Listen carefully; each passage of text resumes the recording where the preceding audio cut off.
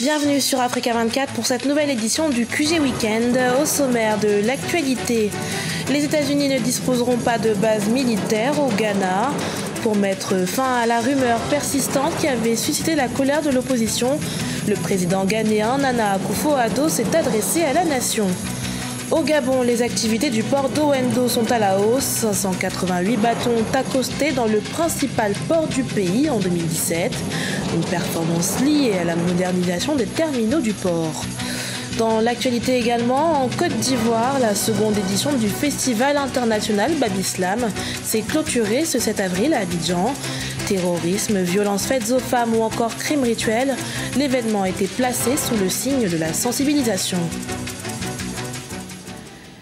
Il n'y aura pas de base militaire américaine au Ghana.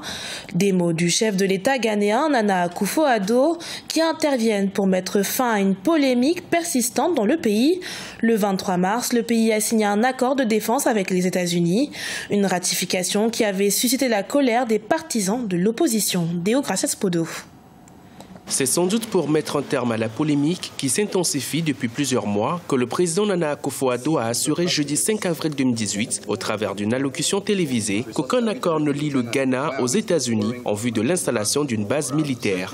Une annonce qui intervient dans un contexte politique particulier. Le gouvernement ghanéen fait face à une forte contestation populaire menée par l'opposition nous nous associons à la coalition nationale interpartie pour la souveraineté du Ghana pour envoyer un signal clair et sans équivoque au président Nana Akufo-Addo et à son gouvernement. Nous sommes opposés à l'établissement de bases militaires étrangères au Ghana.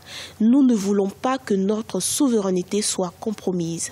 Fin mars 2018, plusieurs centaines de personnes avaient manifesté dans les rues d'Accra pour protester contre un accord de défense entre le Ghana et les États-Unis. L'accord ratifié par le Parlement autorise les États-Unis à déployer des soldats et du matériel militaire sur le territoire ghanéen en échange de 20 millions de dollars et de la formation des forces armées ghanéennes. Depuis, les deux pays ont démenti les rumeurs sur la question des bases militaires. Elles ne sont pas, selon eux, prévues par l'accord de défense controversé. Le Ghana n'a pas offert de base militaire et n'offrira pas de base militaire aux États-Unis d'Amérique. Cependant, compte tenu des réalités de notre situation et des défis posés à la paix dans notre région, nous avons jugé prudent de poursuivre l'accord de coopération avec les États-Unis d'Amérique. Nous sommes fermement convaincus que l'accord aidera à renforcer notre capacité de défense et offrira un important soutien dans notre effort commun pour protéger la paix dans notre région.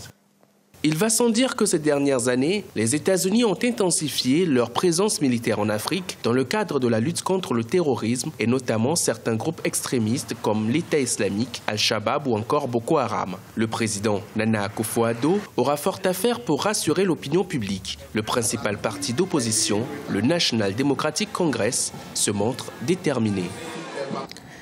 Au Gabon, 7,7 millions de tonnes de marchandises ont transité par le port d'Oendo, principale place portuaire du Gabon. Un transit lié à une hausse de 28,4% du trafic maritime et qui s'appuie entre autres sur la modernisation du port. Plus de précisions dans ce sujet de Nathalie Mo.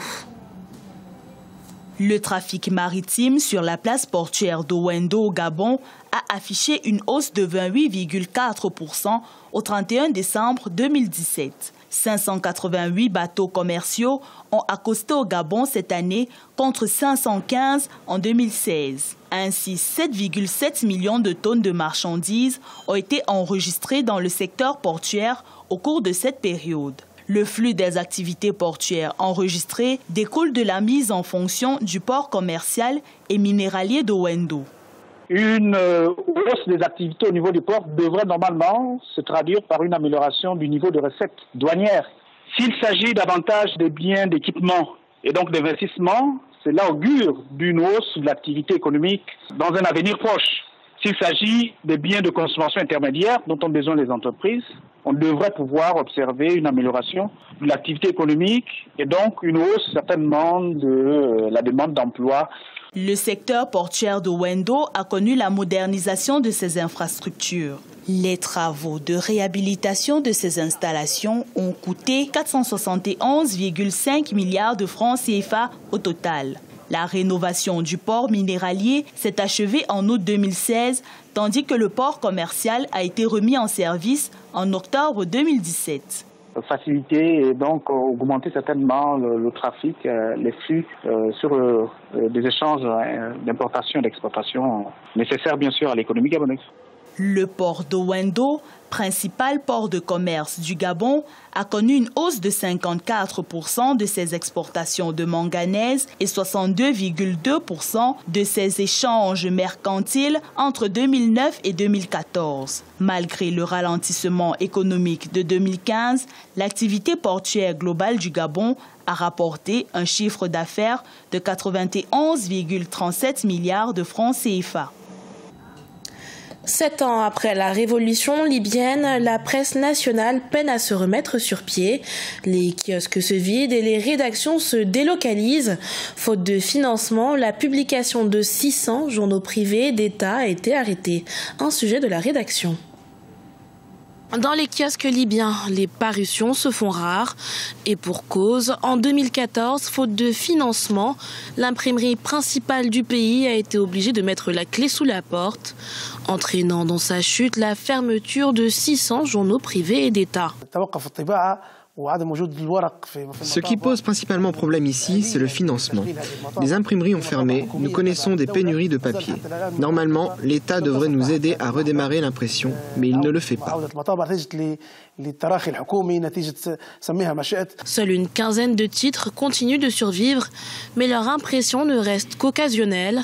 Mais outre cet aspect financier, d'autres raisons sont à l'origine de la crise que connaît la presse libyenne. Selon certains journalistes, l'instabilité politique et la situation sécuritaire entravent en effet la liberté des journalistes à informer leurs compatriotes, une situation qui peine la population. Pour nous, c'est difficile d'avoir accès à plusieurs sources d'information, même celles avec des erreurs. Il en va de notre intellect. Si un citoyen est éduqué, il saura différencier les vraies des fausses informations. Sept ans après la révolution libyenne, pour continuer d'émettre, certaines rédactions ont élu domicile en Tunisie, à l'image du quotidien The Herald, qui s'est tourné vers la publication numérique pour survivre. Le slam était à l'honneur en Côte d'Ivoire du 5 au 7 avril. La deuxième édition du festival international Babislam s'est tenue à Abidjan. Terrorisme, violences faites aux femmes et crimes rituels. Des thèmes qui se sont invités dans les vers des 35 slameurs venus participer à l'événement. Reportage d'Oliva Jacotan, notre correspondant en Côte d'Ivoire. Le terrorisme, les violences faites aux femmes et les crimes rituels sont autant de sujets abordés sur scène durant la grande nuit du slam du festival international Babislam. 15 slameurs, dont 8 femmes, ont su agencer des vers pour sacraliser la vie humaine. Ils étaient porteurs de messages poignants.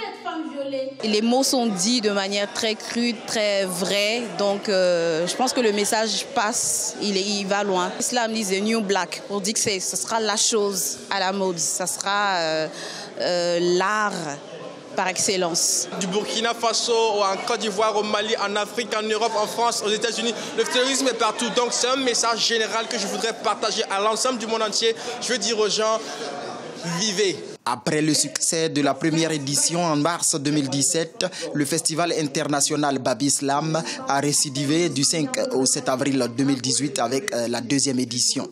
Une édition qui a servi de cadre pour assurer la relève avec euh, l'éclosion de plusieurs jeunes talents.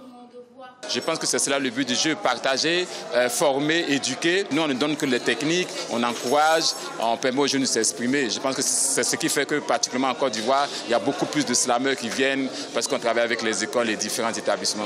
La troisième édition de ce festival international de slam aura lieu en mars 2019. Une dizaine de pays et 35 slameurs ont pris part à l'édition 2018.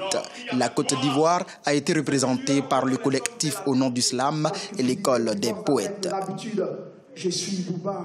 Ce journal a été réalisé par l'ensemble de la rédaction. Merci pour votre fidélité. Dans un instant, une nouvelle édition de l'actualité à suivre sur Africa 24.